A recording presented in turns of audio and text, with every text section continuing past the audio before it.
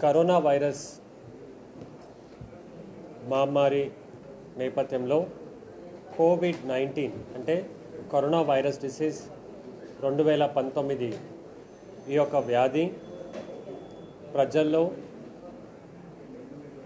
పెరగకుండా తీసుకోవాల్సిన చర్యల మీద మొన్న గౌరవనీయులు దేశ రాజ్య ప్రధానమంత్రి గారు శ్రీ నరేంద్ర మోదీ గారు జనతా కర్ఫ్యూ అని ఒక పుకార్ని దేశాన ఉన్నటువంటి అన్ని ప్రజలకి ఈ యొక్క పిలుపుని ఇవ్వడం జరిగింది. ఈ నేపథ్యంలో ఇరవై రెండవ మార్చ్ అంటే రేపు పొద్దున ఏడు నుంచి రాత్రి తొమ్మిది దాకా జనతా కర్ఫ్యూ అందరూ పాటించాలని జిల్లా యంత్రాంగం నెల్లూరు జిల్లా తరపున కోరుతున్నాను. జనతా కర్ఫ్యూ అనేది ఎందుకు చేయాలి? ప్రస్తుతానికి ఈ యొక్క కరోనా వైరస్ వ్యాధి భారతదేశాలో ఆంధ్రప్రదేశ్ రాష్ట్రాల్లో నెల్లూరు జిల్లాలో సెకండ్ స్టేజ్లో ఉంది.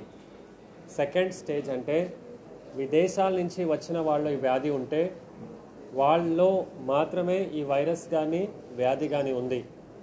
వాళ్ళ నుంచి ఇంకా వేరే వాళ్ళకి పెరగటం లేదు. అది నెక్స్ట్ స్టేజ్ స్టేజ్ త్రీకి అవుతుంది. ఈ స్థాయిలోనే దాన్ని మేము అరికట్టాలి. ఈ స్థాయిలోనే దా ఈ యొక్క వ్యాధి పెరగకుండా మేము ఆపాలి అంటే ఈ యొక్క జనతా కర్ఫ్యూ అనేది చాలా చాలా ముఖ్యం.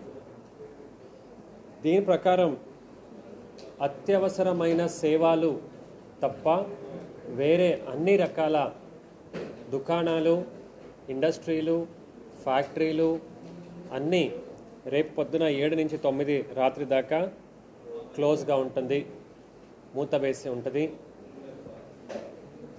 అత్యవసర సేవలు సరుకులు మినహా. అంటే వైద్యశాలలు మెడికల్ షాప్స్ డ్రింకింగ్ వాటర్ పాలు వెజిటేబుల్స్ కూరగాయలు గ్రాసరీ షాప్స్ తప్ప మిగతావన్నీ మూత వేసి పెట్టాలని కోరుతున్నాం.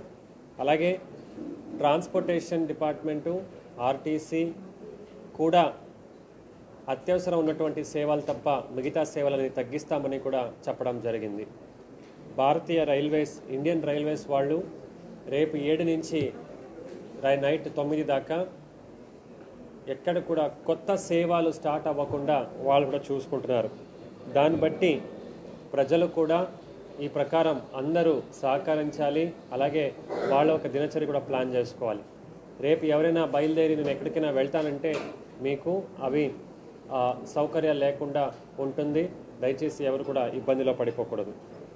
అలాగే ధార్మిక సంస్థలు ఆలయాలు మస్జిద్లు చర్చ్లు ఇవి కూడా మాస్ గ్యాదరింగ్ లేకుండా అంటే ఎక్కువ జనసందడి లేకుండా కాకపోతే వాళ్ళ ఒక్క కల్చర్ రిచువల్స్ సాంప్రదాయం ప్రకారం చేయవలసినటువంటి పూజలు పద్ధతులు వాళ్ళు పాటించవచ్చు దానికి కూడా అన్ని ధార్మిక నాయకులు వాళ్ళ యొక్క సంఘాలకు కూడా నేను కోరుతున్నాను.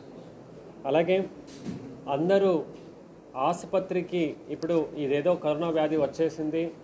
ఏదో ఒక చిన్న ఇది అయినా కూడా అందరూ హడావుడిగా బయలుదేరి హాస్పిటల్కి వెళ్ళిపోతున్నారు. అందరూ కూడా హాస్పిటల్కి రావాల్సిన అవసరం లేదు.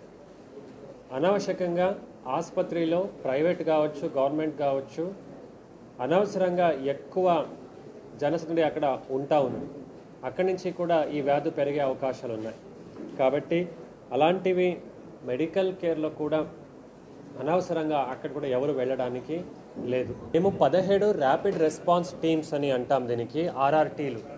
ర్యాపిడ్ రెస్పాన్స్ టీమ్ ఇది బేసికలీ వన్ నాట్ ఫోర్. సంచార చికిత్స వాహనాలు ఏమున్నాయి?